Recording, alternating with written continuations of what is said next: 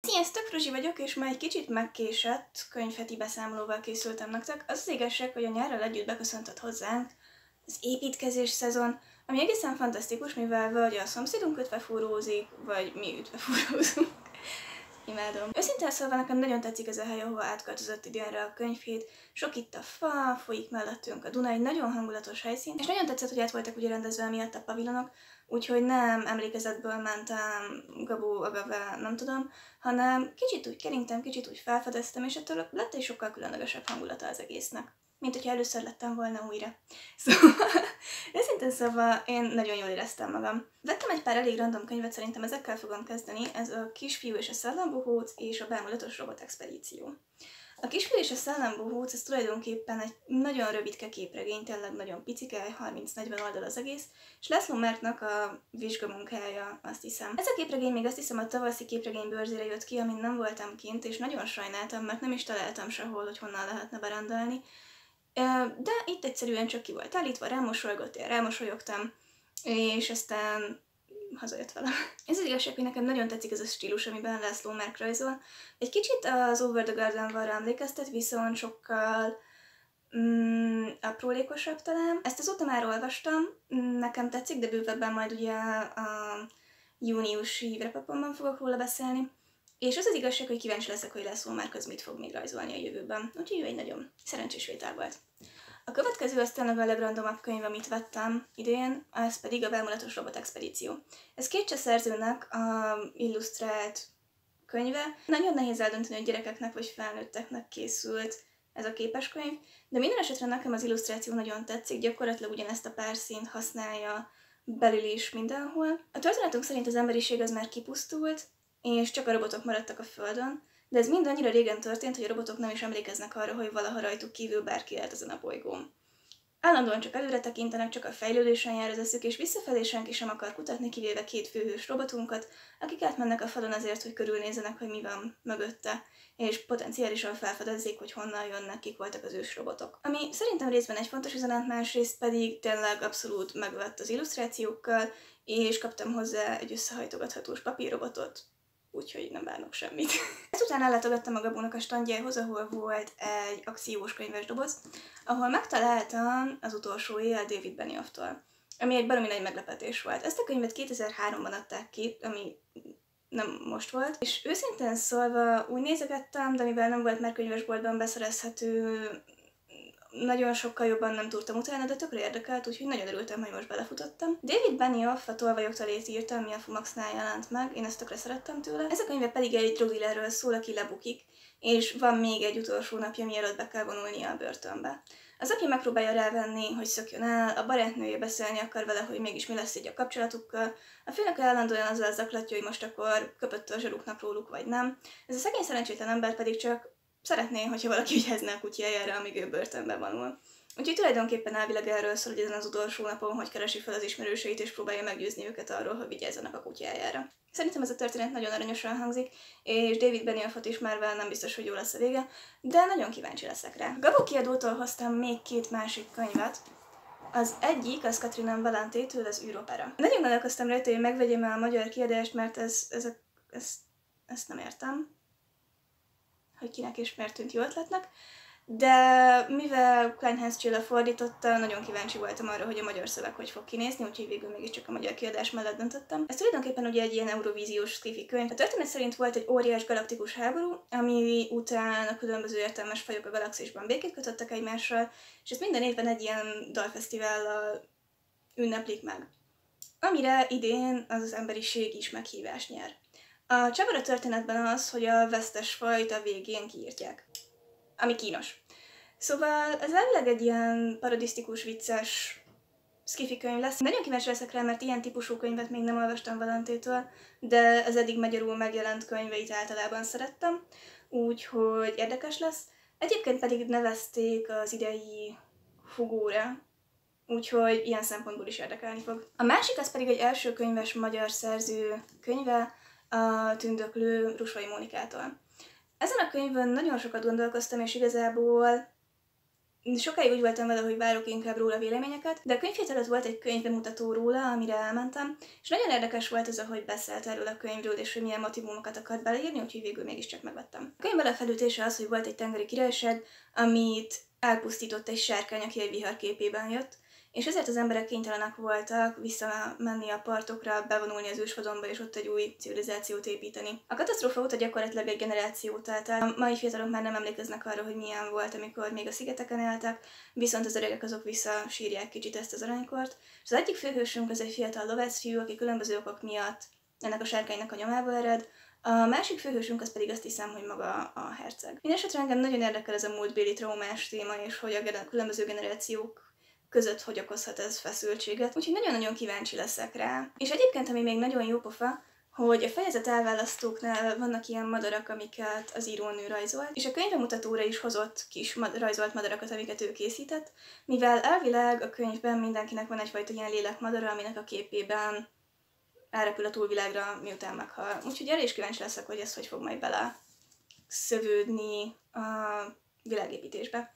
Úgyhogy ő valószínűleg egy nyári olvasmány lesz ezzel a tengeres témával. A következő könyv, amit megvettem, az Cho Namju-tól, a született 1982-ben, ami egy dél-koreai feminista könyv. Tulajdonképpen egy nőnek az életét követjük nyomon ebben a könyvben, és arról a rendszer szintű elnyomásról, megkülönböztetésről szól, amit ott a nők megtapasztalnak. És nagyon érdekes szerintem a felépítése, mivel a könyv felütésén 2015-ben járunk, ahol a főhősünk az már egy felnőtt nő, van férje, van gyereke, de egyszer csak elkezd furcsán viselkedni. Ezután visszaugrunk az időben, és végigkövetjük az egész élet történetét, hogy vajon miért viselkedik ilyen furcsán, és a könyv az 2016-ban ér véget, miután, ugye ez, ezután a furcsa viselkedéses időszaka után. És igen, végiglapoztam, hogy megnézem a fejlécben, hogy mik az évszámok. Mert így szoktam könyvet venni. Úgyhogy engem ez a könyv nagyon-nagyon érdekel. Nagyon szeretem, amikor ilyen időben ugrálós a történetnek a felépítése, és ez a könyv egyébként élőben nagyon szép, és baromi rózsaszín, de hogy úgy, úgy nagyon rózsaszín. Úgyhogy rá is nagyon-nagyon kíváncsi leszek, és minden hamarabb el akarom majd olvasni. Ezután a 21. század kiadóhoz mentem el, ahol két könyvet vásároltam. Az egyik az Muha Dorkától Puncs, ami egy nagyon-nagyon picike könyv, azóta már el is olvastam, de erről is majd bővebben a repabban beszélünk. Tulajdonképpen a főhősünk az egy egyetemista lány Budapesten, aki nem igazán találja a helyét, nem tudja merre menjen az életben, állandóan csak sodródik a kapcsolataiban, a tanulmányaiban, az élet minden területén, és egy nap a professzorától egy cetlit rajta a férfi telefonszámával, és így kezdődik el az ő viszonyuk. Erről tényleg majd a, majd a wrap beszélünk, mert majd a wrap beszélünk róla. A másik könyv, amit a 21. századnál vettem, az a Mámos Szerepáritől. Tőle már korábban olvastam az a szexi kígyót, amivel voltak problémáim, viszont szerepel így gyönyörűen ír, én úgyhogy nagyon kíváncsi voltam erre a könyvére is, még nem vagyok hajlandó elengedni őt. Ráadásul ugye a főszövege is baromi érdekes. A főhősünk az Helen Franklin, aki 20 évvel ezelőtt elkövetett valami szörnyűséget, és azóta is bűntudat Gyötri miatta, és egyszer a kezébe kerül egy kézirat, amiben a történelemnek a különböző sötét időszakaiban felbukkan egy tanú, Mámosz, egy ilyen sötét alak, akivel az emberek szembesülve vagy megbánják bűneiket, vagy pedig megsemmisülnek. És a főhősnőnk is pont amiatt a bűntudata miatt úgy érzi, hogy ez a Mámosz nevű alak kísérti őt már egészen fiatal korától kezdve, és elvileg valahogy tényleg ez a bűntudat megbocsátás, konfliktusok, kapcsolatok lesz a könyvnek a központi témája. Úgyhogy kíváncsi leszek rá, és nagyon remélem, hogy jobban fogom szeretni, mint ez a szexi kígyót. Mindenesetre ez is egy nagyon-nagyon szép könyv. Nagyon szeretem a 21. századnak ezt a kulcsorozatát. Annyira szépek. Ezután még akciós dobozok túrása után vásároltam két angol könyvet. Egyik az E.S. Biat, a Ragnarök. Nem tudtam még, amikor megvettem, de ez a könyv ugyanebből a sorozatba tartozik, mint Janet Winterson túl a teher, csak magyarul már nem jelent meg. Tehát itt ugye arra kértek fel írókat, hogy mítoszokat gondoljanak át. A történet középpontjában egy fiatal kislány áll, aki a második világháború idején az édesanyjával vidékre költözik, amíg az apja vadászpilótaként részt vesz ugye a háborúban. Ez alatt az idő alatt találja meg ezt a norvég mitológiáról szóló könyvet, és gyakorlatilag arról szól az a könyv, hogy ez a, ez a mitológiás kötet hogyan segít neki értelmezni a körülötte lévő világot. Ami szerintem egy tök izgalmas téma. A következő angol könyv az egy olyan könyv, amit nagyon sokáig nézegettem, nagyon sokat hallottam róla, de sosem jutottam el odáig, hogy megvegyem. Viszont most az, hogy nagyon akciós volt, eldöntötte a kérdést. Ez nem más, mint George Sanders-től a Lincoln in the Bardo. Ez a könyv tulajdonképpen egy kicsit ebbe a posztmodern irodalomba hajlik, ahova még nem tettem lábamat, úgyhogy izgalmas lesz. Ez az amerikai polgárháború idején játszódik, amikor is Lincolnnak a 11 éves kisgyereke megbetegedett és meghalt. Gyakorlatilag innen indul el a történet, de a kisfiú szemszögéből, aki átkerül egyfajta ilyen purgatóriumba, és ott híres történelmi szereplőkkel és egyéb szereplőkkel találkozik. És egyébként nagyon érdekes a formátuma, mert kicsit úgy van megírva, mintha színdarabot olvasnál. Megjelent már magyarul is, de magyarul nem szeretek ilyen rövid mondatokat olvasni, mert szerintem nem áll olyan jól a magyar nyelvnek, mint az angolnak a tőmondat. Úgyhogy tökre örültem neki, hogy megláttam az akciós dobozban, és nagyon kíváncsi leszek rá. Nem tudom, hányszor tudom még elmondani azt, hogy nagyon kíváncsi leszek rá. Az utolsó könyv, amit vettem, ezt nem fizikailag a könyvhéten vettem, mivel előrendeltem, de a könyvhéten jelent meg, úgyhogy ide fog ez is kerülni. Ez nem más, mint Edgar Cantor utód a kotnyeres kölykök. Ami tulajdonképpen a scooby és a Tulumitos találkozik a popkultúrával. Horrorkönyv. Ami szerintem nagyon jól hangzik. A könyvfelütés, hogy van egy ilyen nyári detektív klub, a négy főhősünk minden nyáron ugyanott nyaral, és együtt különleges eseteket oldanak meg, körülbelül úgy, mint a Scooby Gang. Az utolsó esetük, az Álmos Tavi rém esete is sikerrel zárul, viszont utána valami megváltozik, valami furcsa lesz, nem mennek többet vissza oda nyaralni, hiába kapták el a tettest, nem is nagyon tartják egymással a kapcsolatot, és miután felnőttek, az életük egy eléggé lefelé ívelő pályára kerül. Az egyik alkoholista lesz és nagyon rosszul halad a tanulmányaival, a másikuk börtönviselt, a harmadik elmegyógyintézetből elmegyógyintézetbe kerül, a negyedik pedig meghal. Nem sokára azonban mégis úgy döntenek, hogy összegyűlnek és visszamennek kinyomozni, hogy mi is történt pontosan az utolsó esetükkel, azért, hogy rendbe tudják tenni az életüket és tovább tudjanak haladni. És kiderül, hogy valójában tényleg nem csak egy áruhás fickó volt ott, hanem valami nincsen rendben az álmostóval.